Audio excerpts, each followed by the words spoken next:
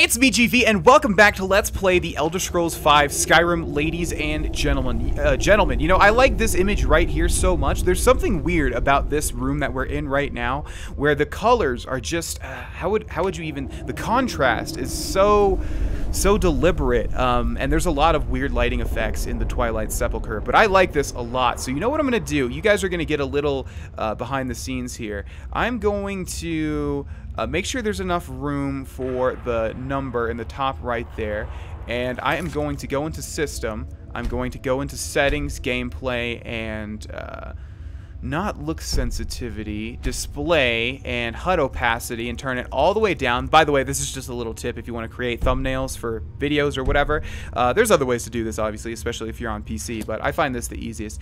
And that's going to be the thumbnail. Yeah, I like that so much. Uh, Thorn looks absolutely great. Hopefully it comes out as good as I'm looking at it right now, but it looks really, really, really good. Okay.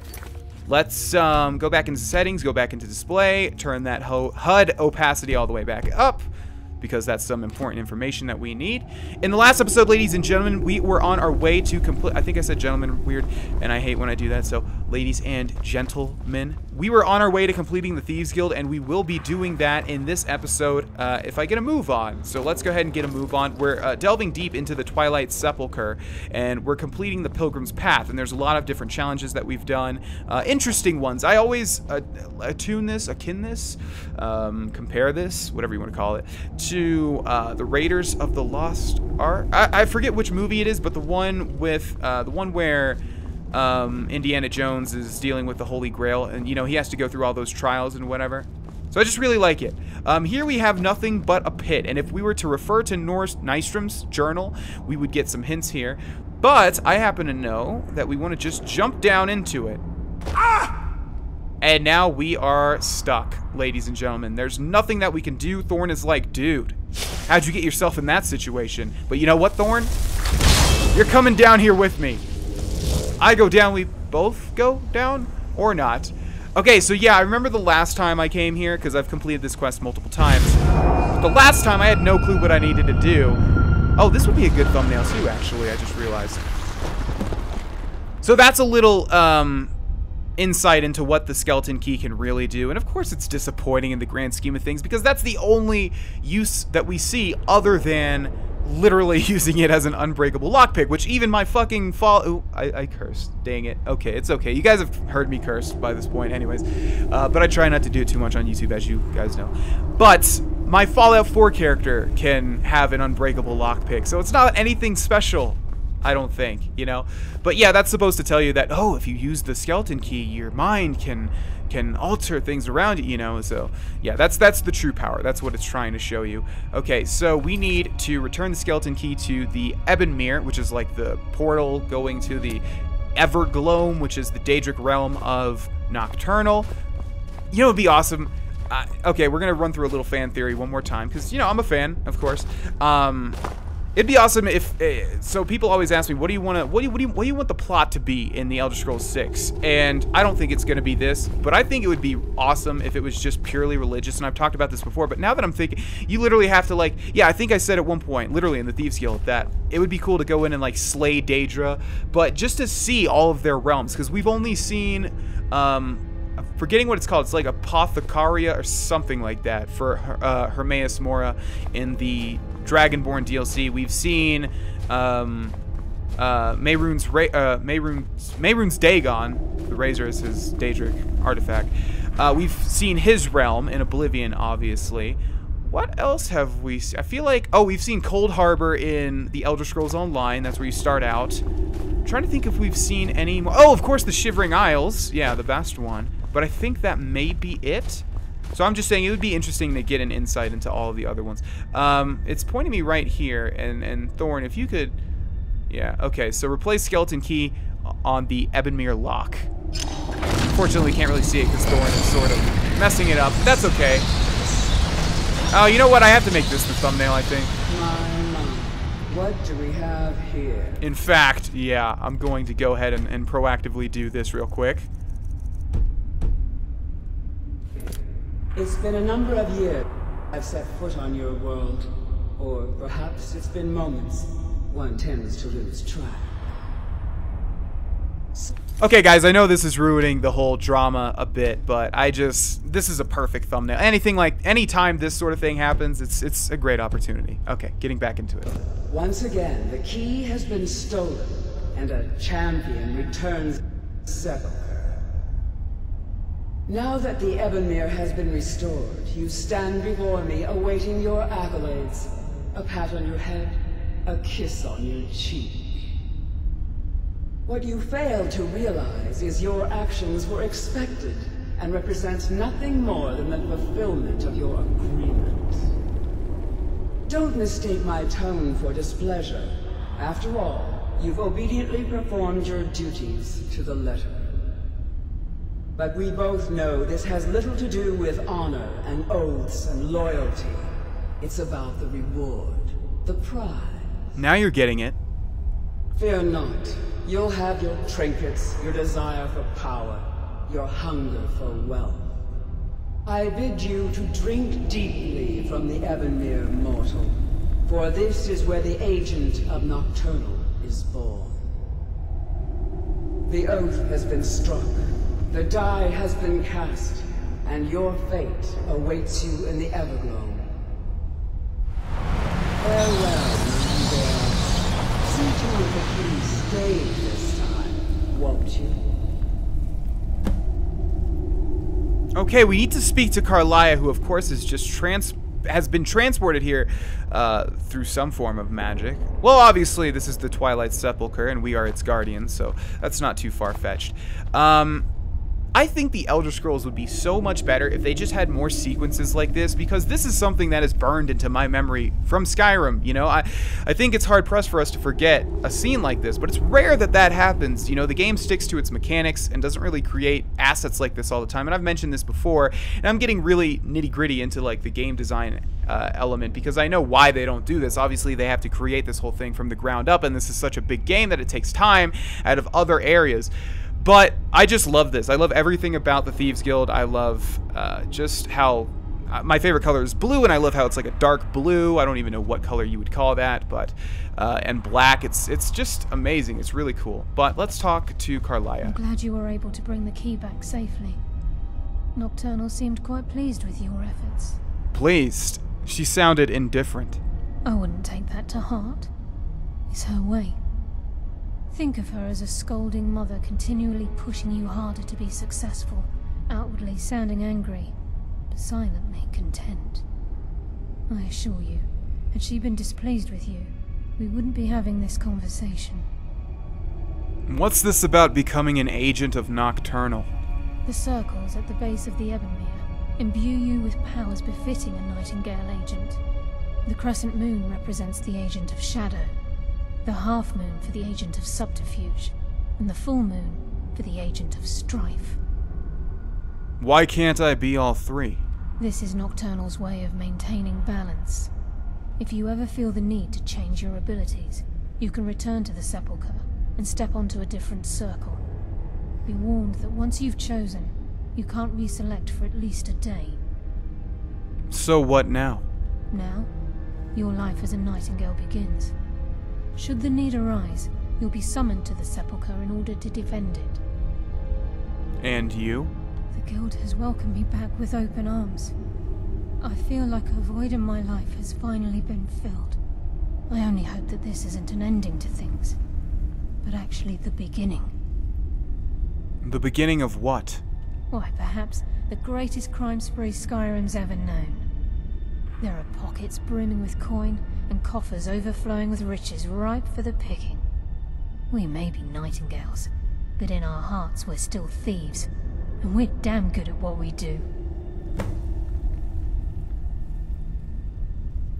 So I think we actually have to ask or inquire about these agents to figure out what they do. I don't think if you hover over and activate them, they actually tell you. And then once we choose one, we can't choose for another day. So it's good to pick the best one that we want.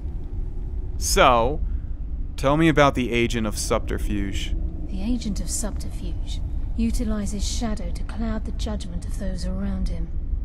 By weaving the darkness to their will, this agent can manipulate others into fighting for the Nightingale for a limited time. So basically, a fury spell, kind of. That would be good for a magician. Or a mage. Tell me about the Agent of Stealth. The Agent of Stealth is the master of remaining unseen. They are able to manipulate the darkness and use it to their advantage. On moonlit nights or in darkened rooms, this agent literally becomes invisible. Now, as you can probably tell, that's usually the one that I stick to, even though it's kind of redundant because we already uh, usually have 100 sneak, and amongst other things, um, including the perk on the sneak tree where you become invisible after you crouch for a split second, so it's usually not needed. Tell me about the Agent of Strife. This agent of strife can send forth a tendril of pure darkness into the heart of another, causing great injury to them. At the same time, this tether will bolster the agent's own life force, making him stronger.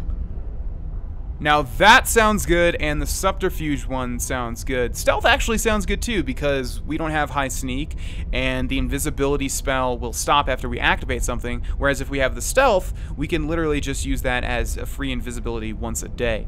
So they're all really good, and the rewards are really good to be redundant. Um, you, you, know, I don't usually like spells and powers and whatever because I forget to use them, and it's like, okay, I can only use it once a day. Highborn, however, obviously has been really, really integral into this uh, Let's Play and its success. So the reason I'm saying all this... Your journey will be complete. ...is because I don't know which one to pick. Oh, no! Oh, I forgot it happens as soon as you step onto it. Well, we have Subterfuge. Gallus. I feared I would never see you again. I was afraid you'd become like the others. If it were not for the actions of this Nightingale, your fears would have come true. He honors us all. What will you do now, my love? Nocturnal calls me to the Evergloam. My contract has been fulfilled. Will I ever see you again? When your debt to Nocturnal has been paid, we'll embrace once again. Farewell, Gallus. Eyes open. Walk with the shadows. Goodbye,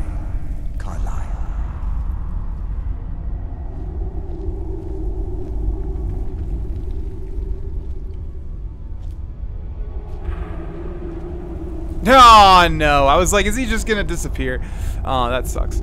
Uh, you must wait a full day before altering your um, Nightingale agent status. Yeah, I guess we'll, we'll come back here two other times and, and use them and figure out which one's the best. Like I said, I think I usually pick invisibility, but let's go into magic and take a look at that. I think it's power. Nightingale subterfuge. People and creatures in the spell's area of effect will attack anyone nearby for 30 seconds. So it's sort of like a free mayhem spell. We can only use it once, obviously. But if we find ourselves in a giant fight, that would actually be really, really good, especially if we can also summon um, uh, Thorn and then have him just sort of swinging at things as, as we're dealing with everything else, maybe with a fireball. So we'll have to remember to use that. I'm going to favorite it. And now let's leave, shall we? I totally forgot as soon as you step over one of them that's what you pick. Um, also, as you can tell, if we come back to the Twilight Sepulchre, all we have to do is walk towards the portal. We don't have to run through the entire uh, dungeon again because that would be terrible, terrible, terrible game design. So there's only one thing left for us to do, and I don't even think that we have a quest available to us, so some people might just think, oh, that's that's the end of it. In fact, I may have thought that that's how it happened the uh, the first time I completed the Thieves Guild. But no, of course, we need to return. And actually, oh, I, I, I remember uh, remember why I thought that now is because I didn't do all of the Radiant quests, so I came back and no one talked to me. I had no clue why, and then I had to eventually find out that, yeah, you had to restore the guild to its former glory by also doing all of Delvin and Vex's quests. But we have done all of that. Uh, so now if we return, hopefully... So you're the one everyone's Hmm. for. It's good to see you in one piece, lad. I just wanted to give you a proper thank you for everything you've done. The guild is back on its feet again, and on its way to a prosperous future. What's become of the skeleton key? It's been returned to the Sepulchre. That's it then. After all those years of helplessly watching the guild decline. But enough of that. I'm confident that with you in charge, we'll soon have more gold than we could possibly spend. So, where will you be now? I'll be down here, trying to coordinate everything with Delvin and Vex, to make sure the coin keeps flowing, and no one skims. If you still feel like doing some jobs, I'm sure Delvin and Vex have more than their fair share to give out. Either way, it's been a pleasure, my friend. Here's to the future of the Guild. May it last another thousand years. Okay, now I was gonna say that's not a good sign because he didn't talk about becoming the guild master, but obviously we we've immediately gotten another quest here under new management. Speak to Brynjolf about becoming the new guild master. Well, my friend, the time's come to make it official. It's time to become our guild master. Don't worry. I promise this will be short and sweet. If you'll just meet us in the center of the cistern, we can begin. Then why are you walking over there, my friend? Proceed to the center of the cistern. I think everybody was just teleported there automatically.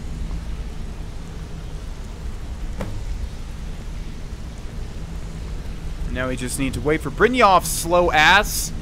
He started talking to us about becoming the guild master, and then he walks in the complete opposite direction of the middle. What in the world? Video games. Oh, Sapphire. Yeah, just walk through the, the, the coronation. Yeah, that's fine. Look, I've never been good at these things, so I'm just gonna keep it short.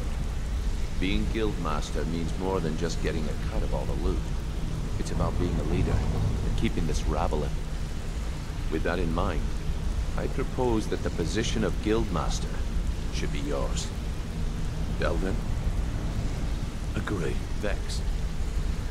Sure, why not? Karliah? Absolutely. Everyone is in agreement. So all I can do now is name you Guildmaster, and wish you good fortune and long life.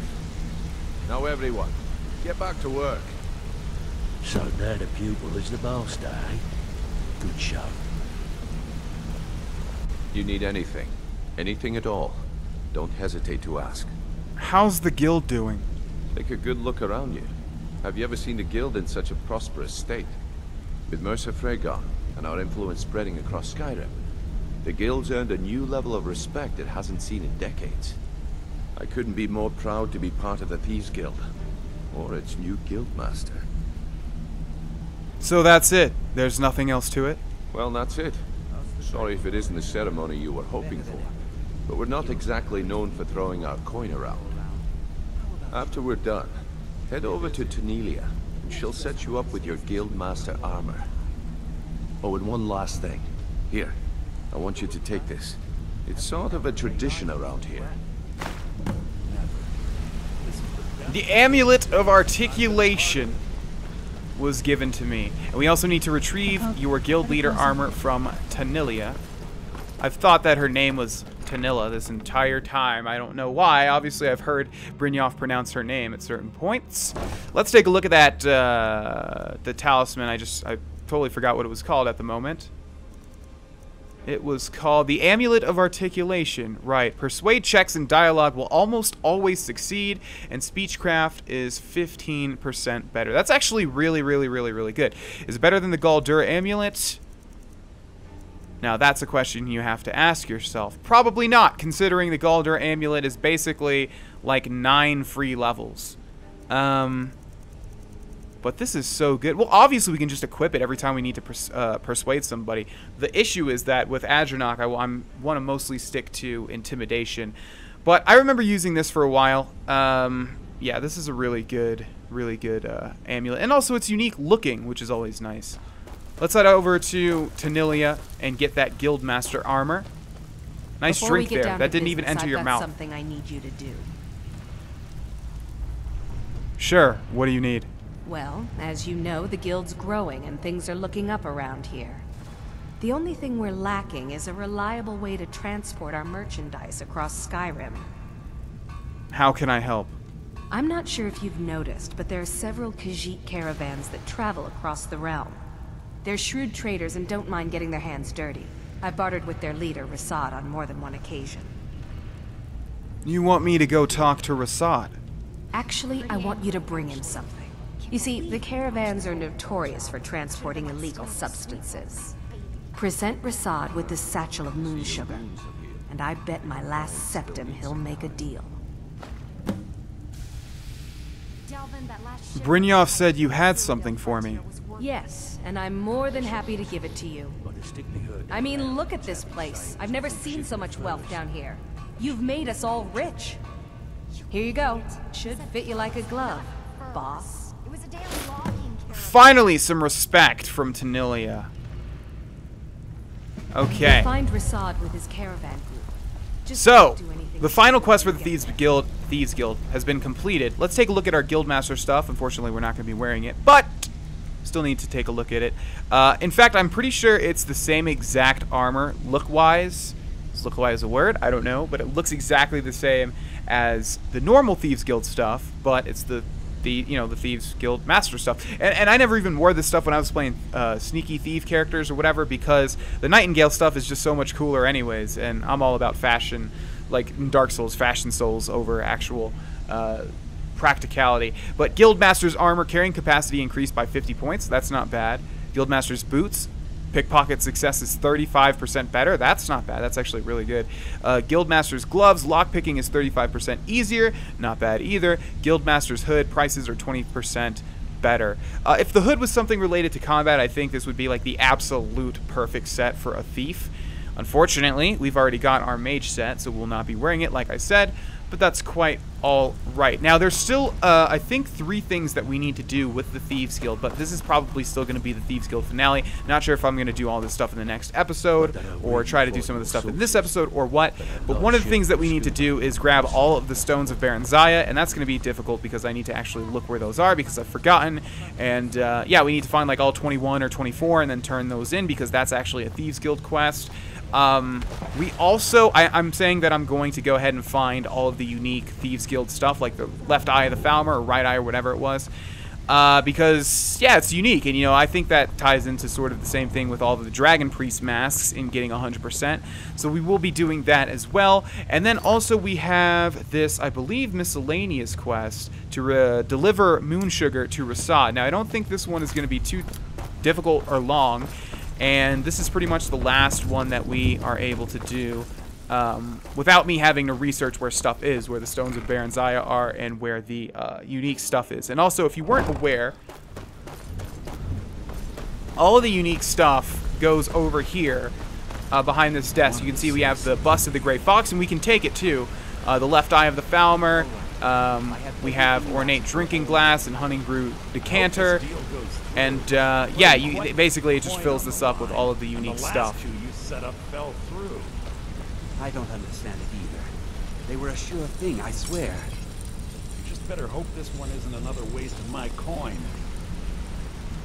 That's so funny that they would put the same voice actor as Mercer Frey. Literally, like, like what if Mercer Frey was standing? Yeah, this guy might only something? appear after you become Guildmaster or closer to the end of the, the Thieves Guild. I'm not sure, but imagine if Mercer's standing here and this dude is standing right here. They're literally, they literally have the same exact voice.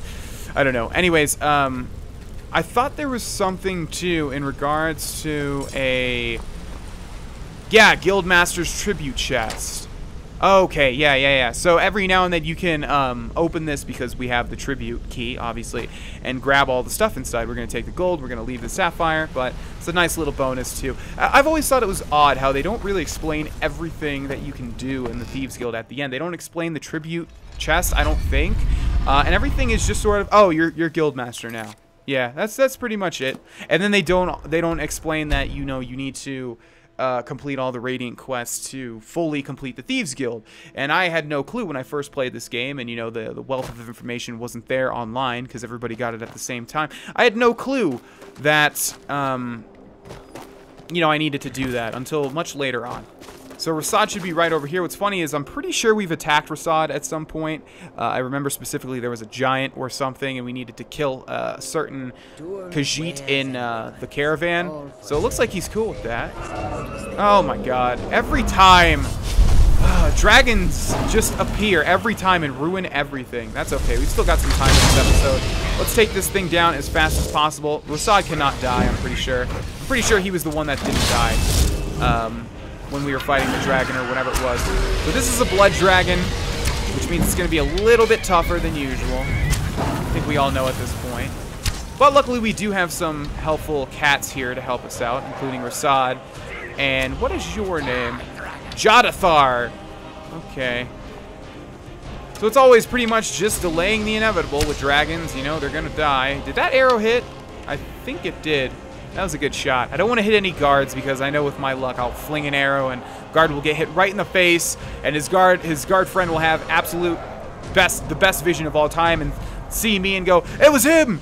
That man needs to go to jail. And I like to imagine that's how the game works. All right, I just need Ri'saad to be close to me and there he is. And uh Where are you? Okay. Dragon's just somewhere over there in the distance. And it's not going to let me talk to Ras uh, Ri'saad unless it's just gone. These guys are chasing. You approach as if you know us, stranger. Who are you, and what do you want?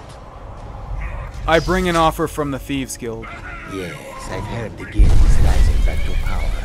An alliance would be most beneficial to both parties. I will consider the offer, but I'll have to discuss it with the other caravans. Perhaps this will sweeten the deal. Ah, moon sugar. I could smell it on you. I am pleased with this offer, and accept. Take my word to the leaders of your guild and tell them we look forward to a prosperous and profitable future. If you happen upon any of our caravans in your travels, we'd also be more than willing to pay you a fair sum for any of your stolen goods. Just the moon sugar. And that's all it takes. Give my regards to Dominia. Tell them And of course, they took down the Dragoness. we were having a nice little friendly chat with Ri'saad there. Let's grab its gold, its arrows.